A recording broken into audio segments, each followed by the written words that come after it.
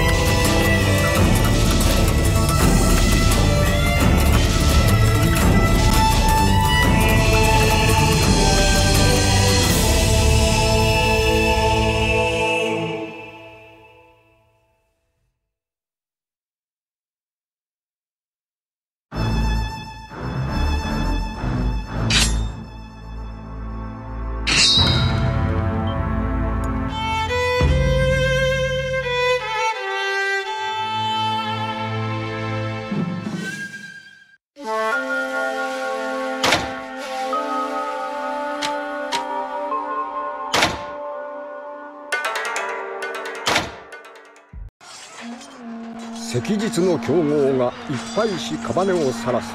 一回の草履取りが立身出世し大将となる。戦は戦を呼び田畑は荒れ人心は乱れる。尾張の織田信長をはじめ名だたる武将が天下を奪い合いいつ果てるともなく戦い続ける千億の夜ここ義州天野の地でも名門桜井家の栄光は希望が夢となり下克上により牽制を振るう乱世の英傑藤森主膳が天下をうかがう。強くただひたすら強くそれが主膳が求める国のありよう。だがそのために天名の民草はひたすら十九にあえぐ。そう戦が絶えることはない。今も一つの戦が終わった。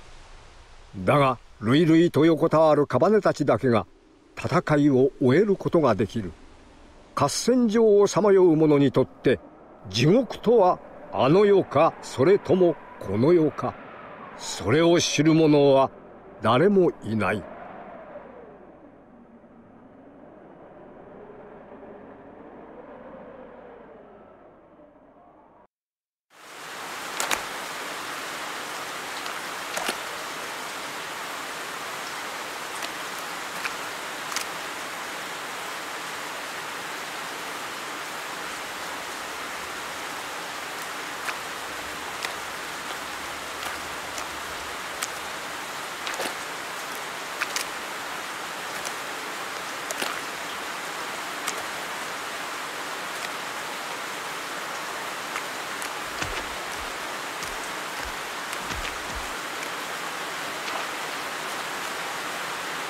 たまげた。あの大戦で生き残ったやつがおるとはな。おいおめえ様大丈夫かよ？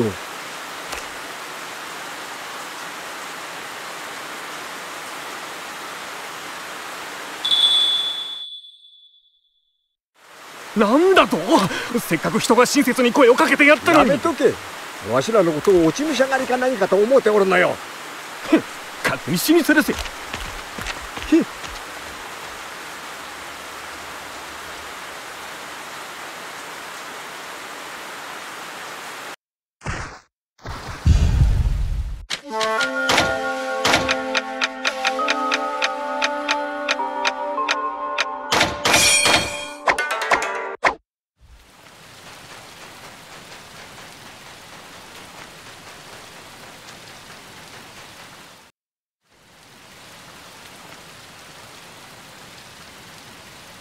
藤森修善やはり乱世の旧友か。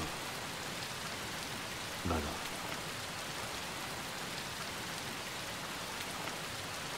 おおお主あの戦を生き延びたか。だが死ねなかった者の方が地獄へと近づくということもある。より多くのものを背負ってな。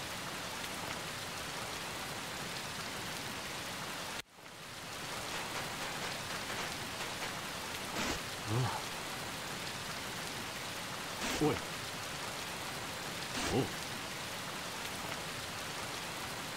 いかがか。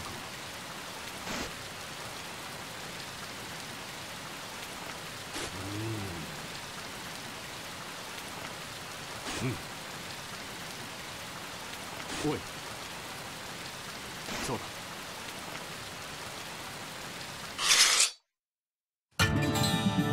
戦は終わった。今さら争う必要などない。だが拙者もお主にとっては敵の一人。どうしてもやるというのなら相手をしよう。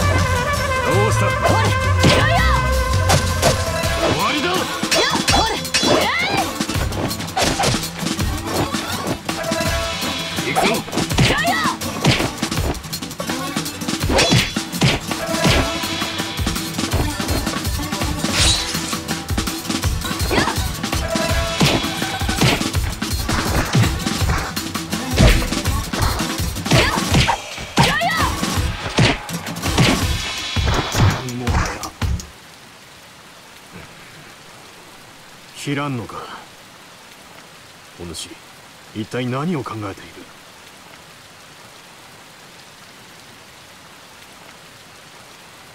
ふん。不思議な男だなお主は。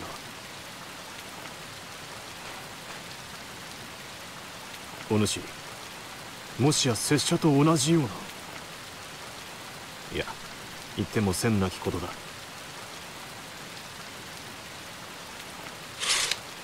今日のところは引いておく。縁あればまた会おう。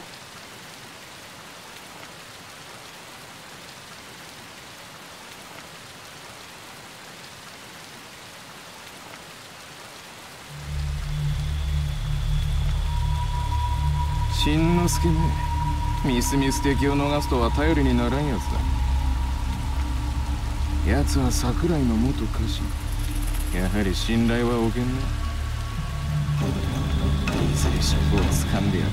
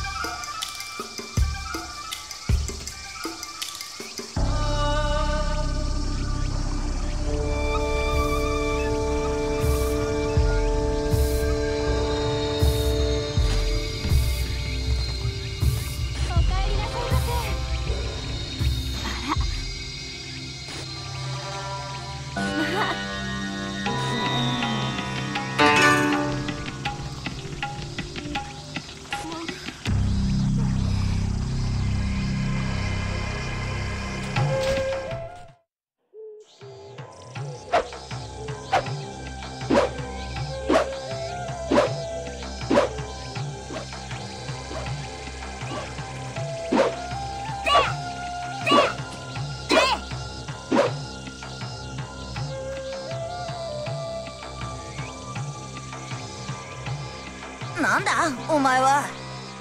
侍が村の中をうろちょろするな。お前ら侍がいると姉ちゃんが怖がるんだ。帰れ。帰れ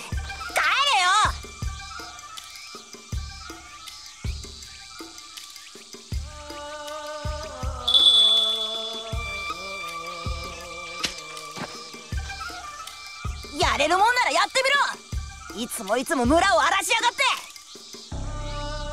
て。やめなさいコウタ。何をしてるの？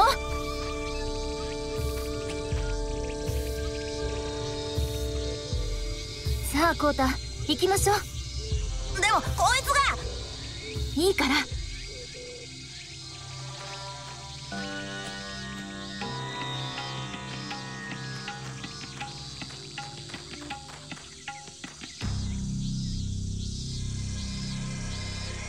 コウタの比例はお詫びします。この村に侍が不要なのは本当のこと。村に最悪を呼び込む前に出て行ってください。お願いします。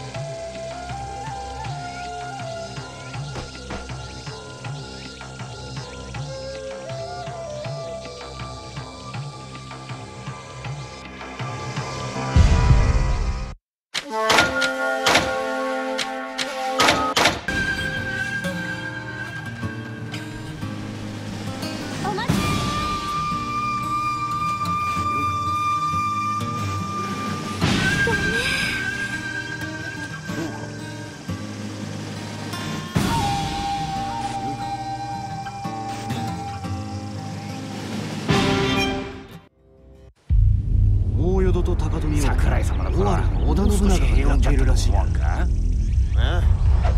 当然天の方では済むまい。天野のしかしだからこそそうじゃ。あれらは桜井の旗のもとに好き勝手しているだけじゃを狙っているお方だなんとはいかしかしてロックをもら終わうりの織田とも十分に渡り合えると考えておるが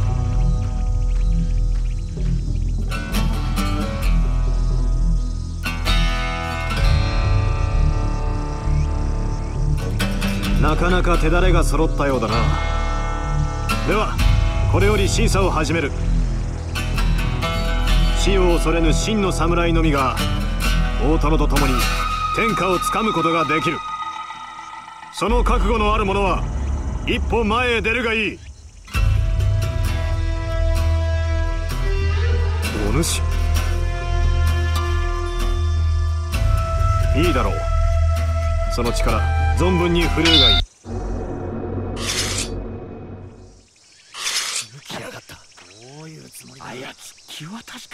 だろうどうした？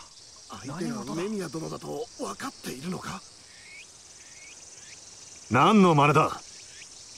この連中では不服だというのか？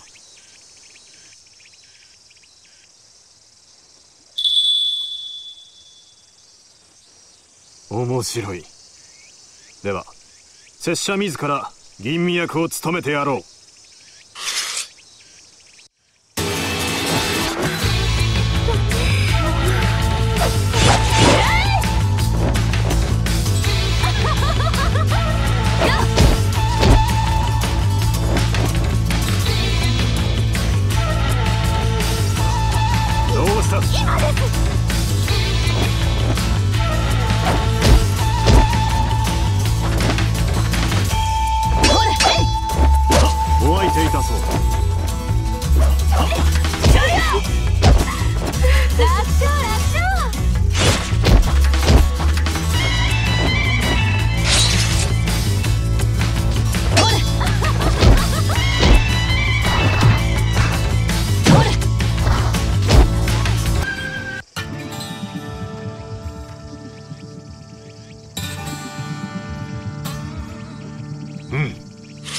なかなかの腕だ。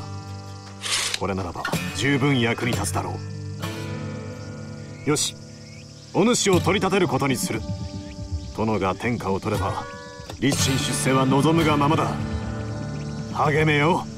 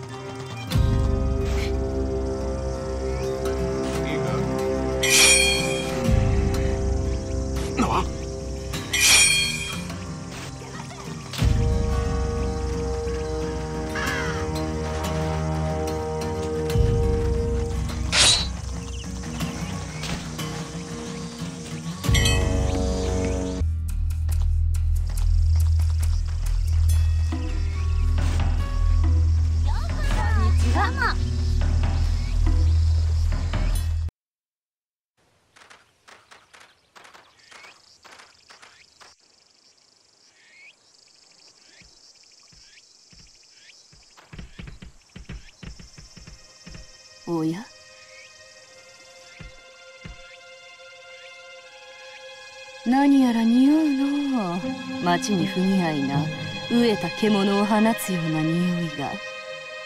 これは血の匂いかい？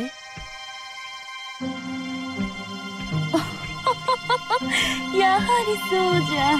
風雅とはかけ離れたこの周期。これほどまでの悪臭を嗅いだはお主で二人目じゃ。そう一人目は藤森主膳あれもまた血の匂いが避けられぬ男よ。じゃがお主はそれ以上かもしれん。そしてわらわはこの匂い嫌いではないぞえ。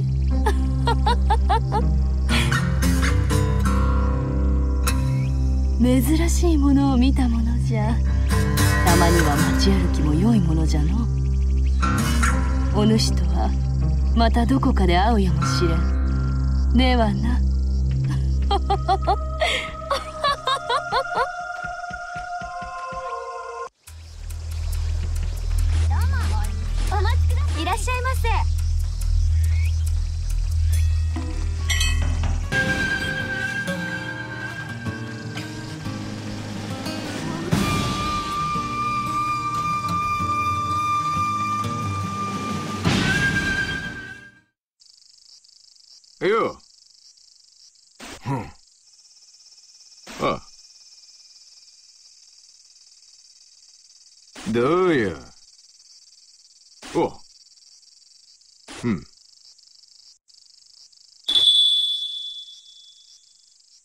いいだろう。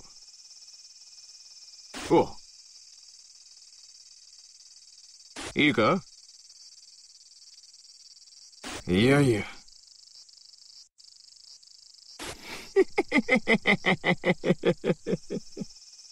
あ？よかろう。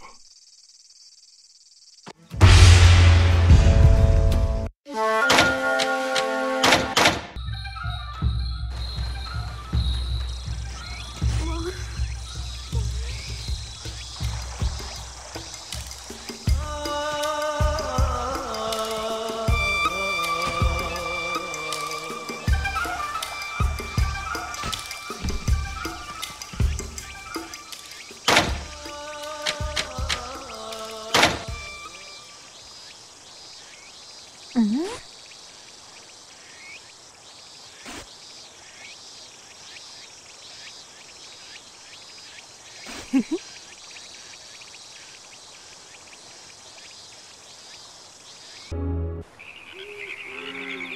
もし。ねえ。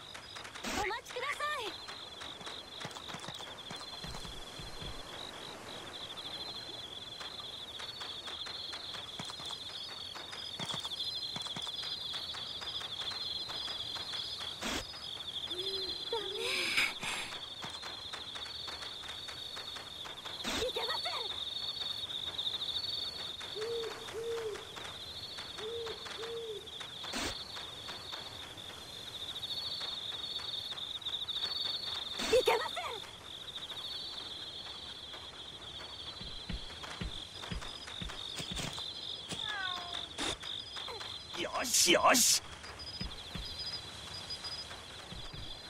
お待ちください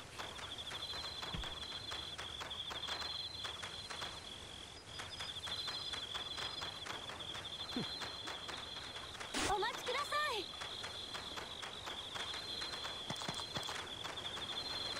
お待ちください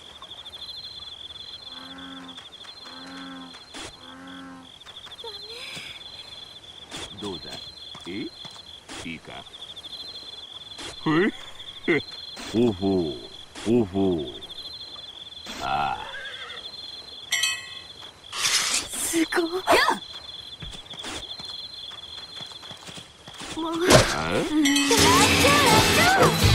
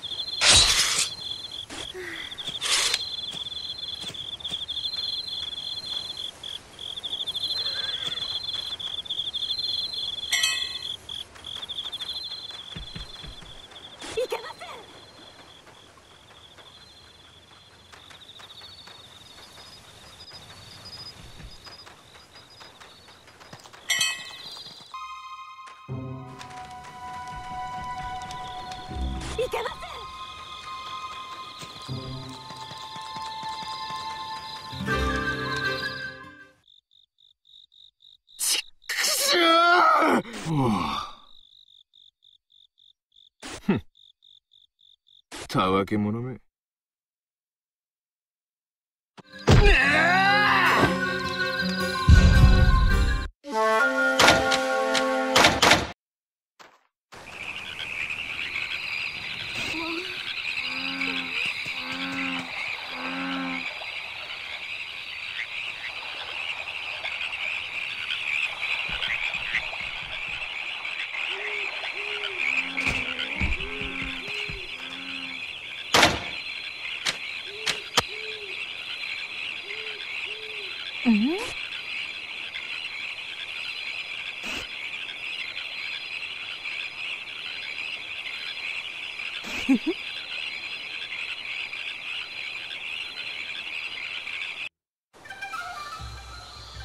もし。ねえ。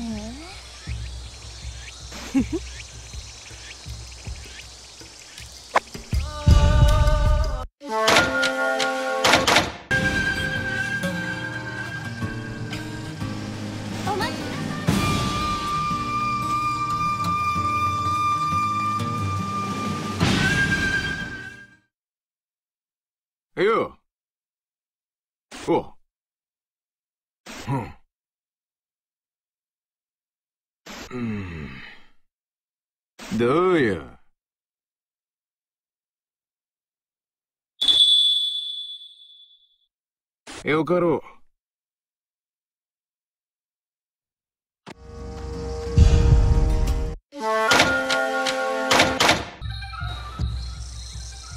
海外に戦火宗近今日という今日は許さんぞ。割り当てた年貢米払わんのなら我々にも考えがある。払わんなどとは言っておらん。払えんと言っておるのだ。我々も子供の使いではない手ぶらで城に帰れるか？だがわしらも内祖では触れん来年の種もみに手をつけるような真似は藤森修善殿も望まれまい。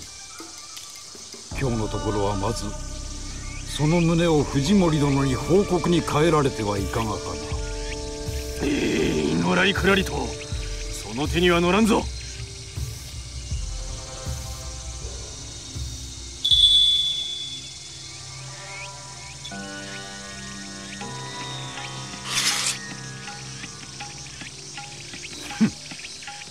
そんな脅しがわしに通用すると思うか？気をつけた方がいいぞ。こいつは何をしでかすかわからん。多分村ごと滅ぼすんじゃないか？なんだと？どういう意味だ？ふん。できもせぬくせに。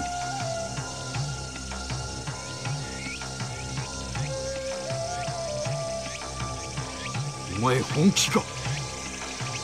本気でこの村を滅ぼそうというのか。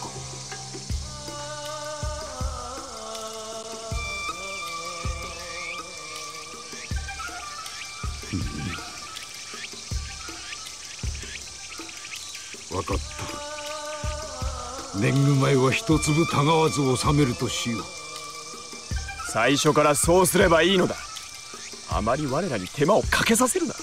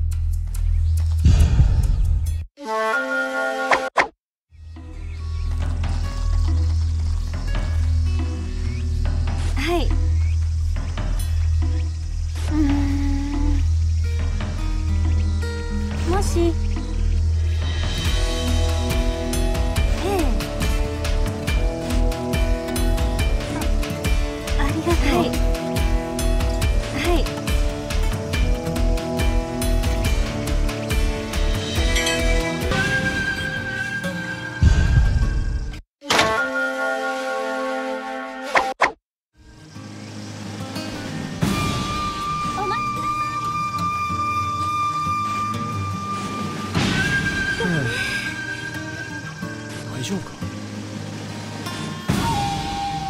何？いやああ。ああ。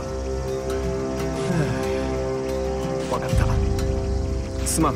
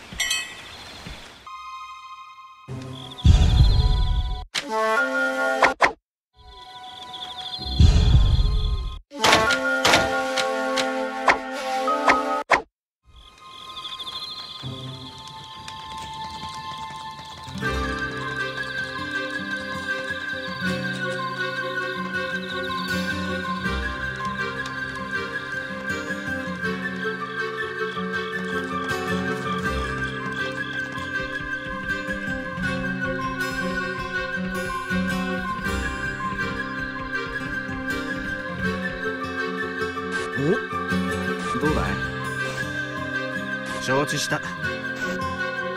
さあ来い。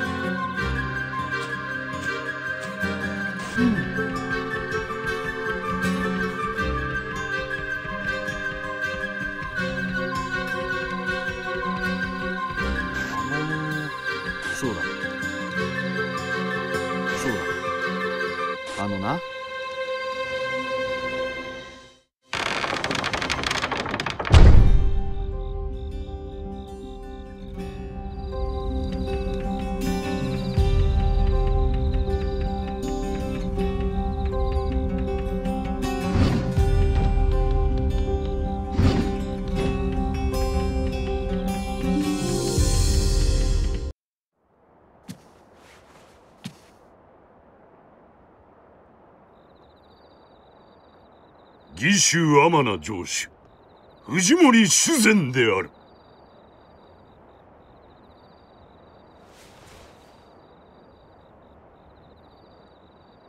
その方なかなかの働きぶりと聞く。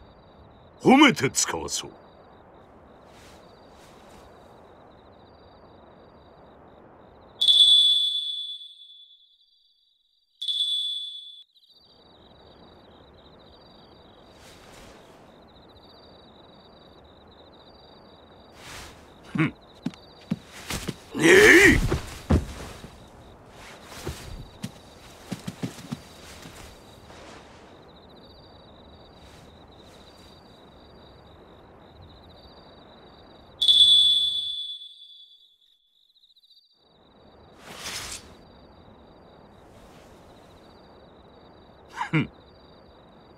歳で初陣を飾りし後戦場で戦うこと百数十回。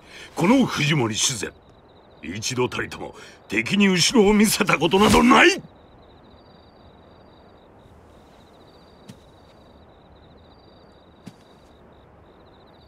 さあこのわしをどうしたい？わしは義州天名城主藤森主膳であるぞ。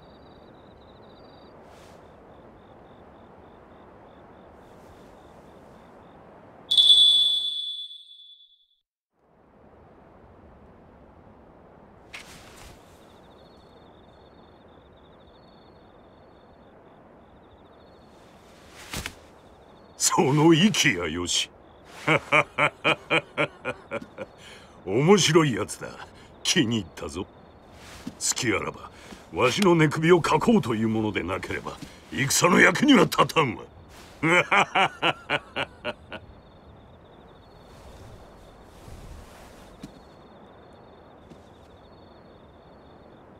励めよ。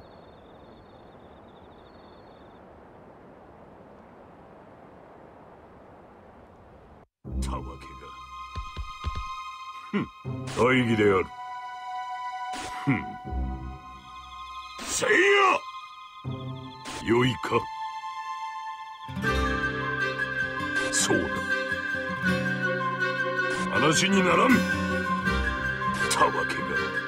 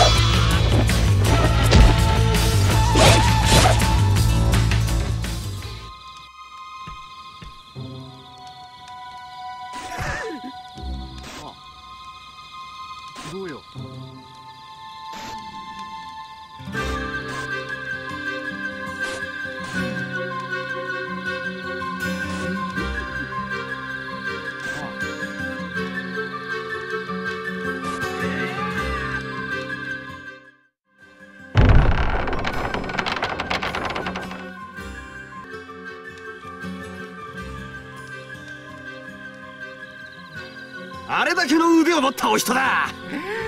あんたがいれば百人力だ。お頭わしは一生あんたについていくぞ。俺はあんたみたいな人が頭になるのを待っとったんじゃ。お頭これからもうまい酒が飲みてえです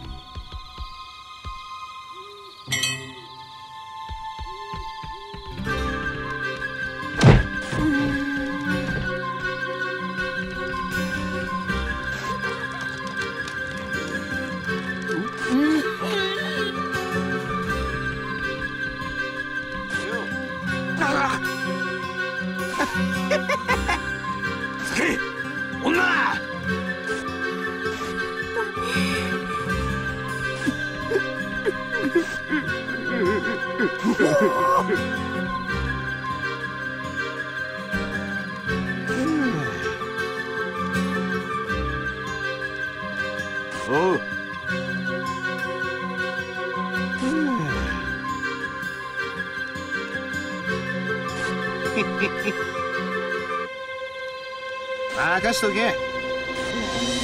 いいか？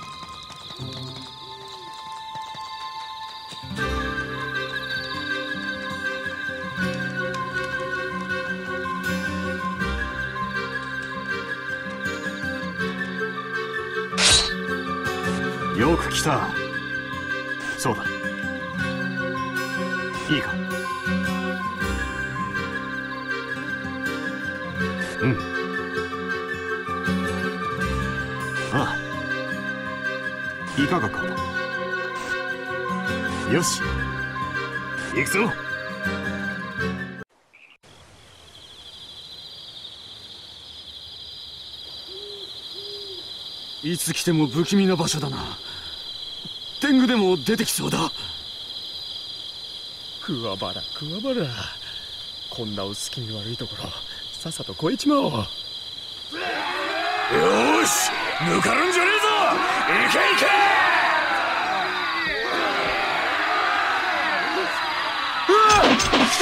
出た大加藤だ。来るぞ抜け。兵糧を守るのだ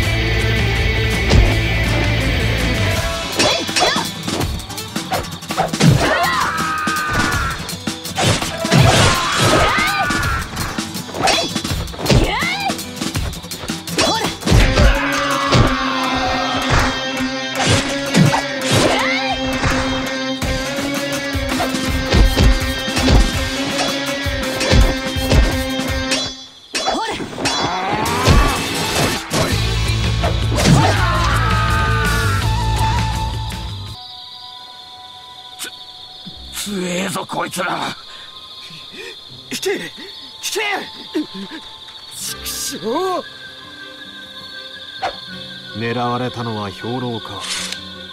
それとも拙者の命か。いずれにしても味方以外誰も知らぬはずのこの道中に襲撃だと。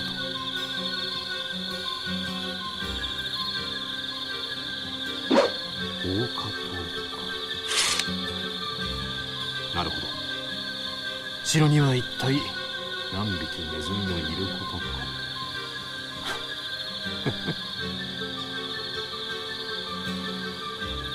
さて残りの道中もわずかだ。大加藤の別動隊が現れぬうちに城へ戻るとしよ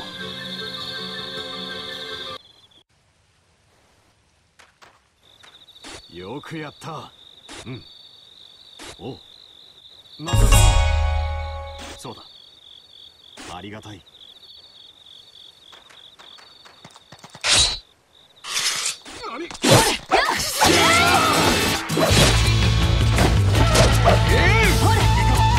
終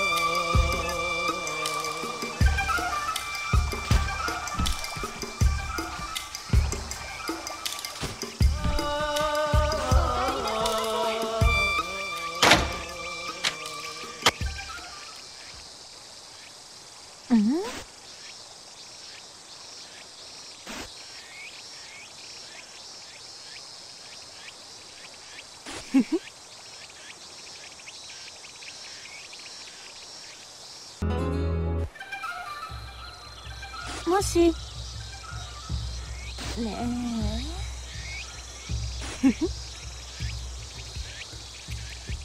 おかえりなさいませ。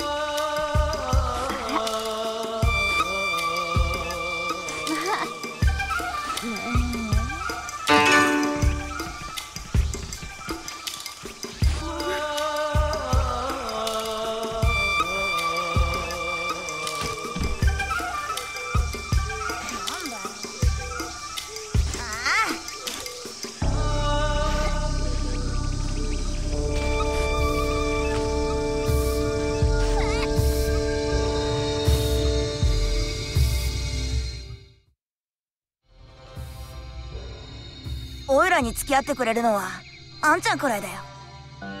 みんなオイラが子供だからって誰も相手にしてくれないんだ。でも今に見てろよ。おいらには立派な刀だって。そうだ。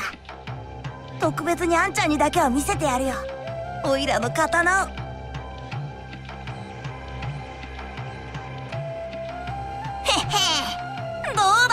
桜の家紋。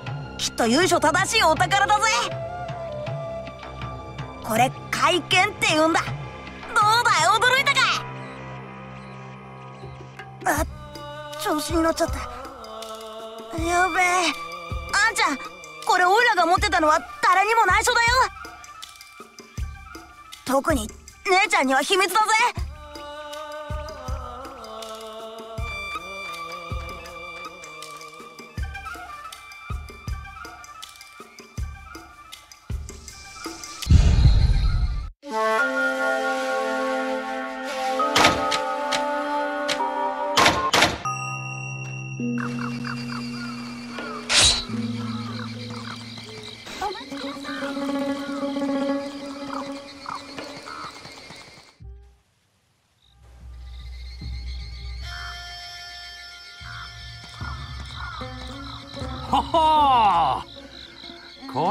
実に興味深い。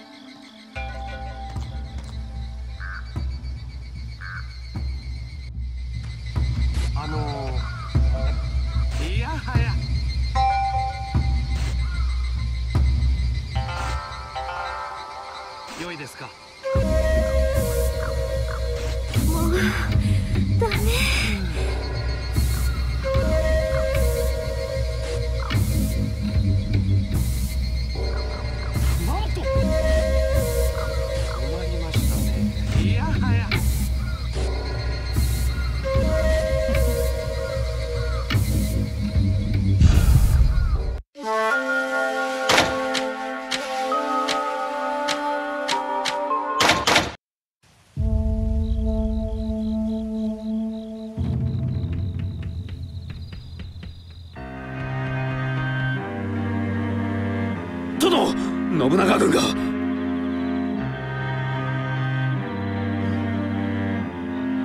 ついに動いたか。は義州高富義州大淀ともにわずか3日しか持たなかったそうです。義州三国のうち高富大淀が信長の手に落ちた今次は我が天中。どうされます殿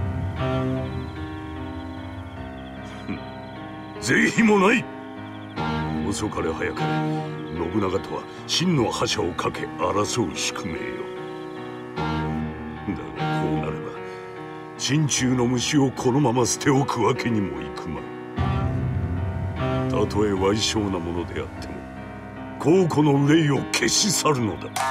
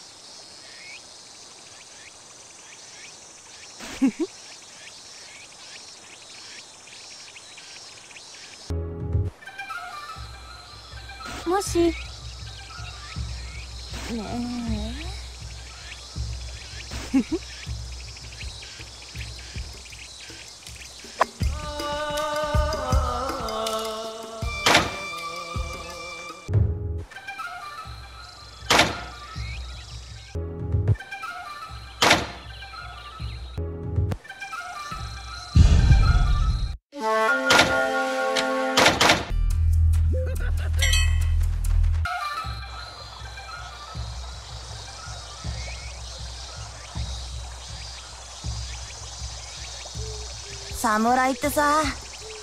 おいらもっとかっこいいもんだと思ってたんだ。でもそうでもないみたいだよな。あんちゃん見ててよーくわかったよ。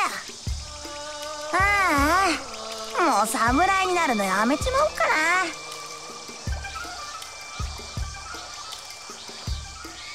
ところでさあんちゃん。結局アマナで何がしたかったわけ？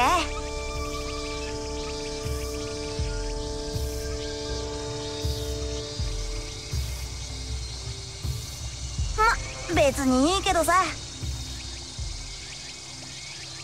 こうなったらせめて天名城に攻め込んで一花咲かせてみたら？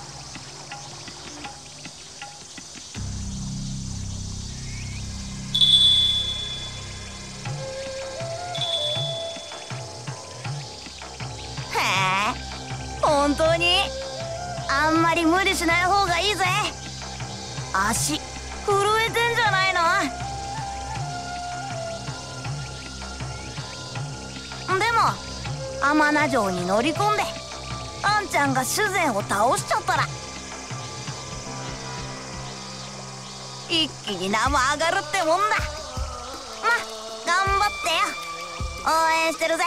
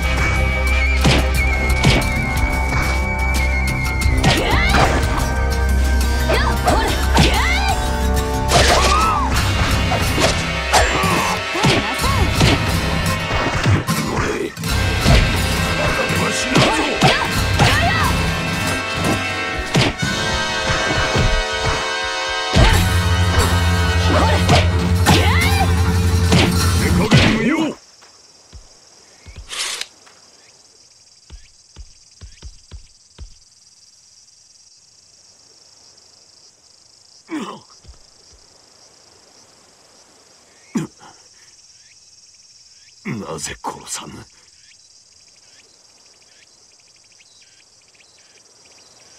わしを殺し天下を取ろうとする者がそんな甘いことで何とする。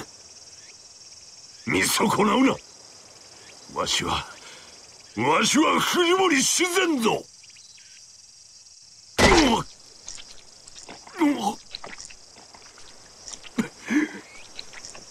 弱き者にきる道なし。それがこの世の断りなり。道半ばで倒れるわしもまた弱者であったか。うん。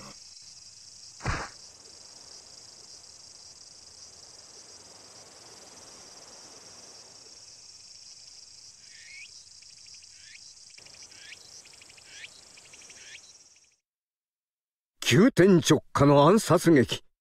藤森主膳が義州天名を平定するかに見えたその一瞬。名もなき侍が天名統一を宣言する。子が親を殺し家臣が主君になり変わるは戦国の世の常。だがそうして成り上がった者に支配者としての器があるかどうかはまた別の問題。主膳おつとの知らせを聞いた織田信長は直ちに義州天名に進軍。瞬く間に彼地を制圧。そして地図の上から消えた天名という地名とともに城主となった侍も消えた。後の世人々はこれを天名の一日天下と呼んだのだった。